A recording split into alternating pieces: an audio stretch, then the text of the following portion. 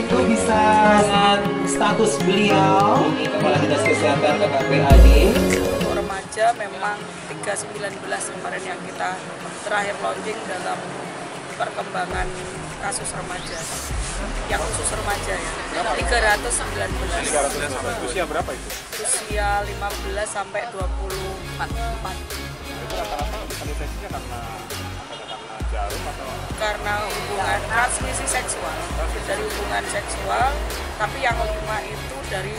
penularan vertikal dari ibu ke anak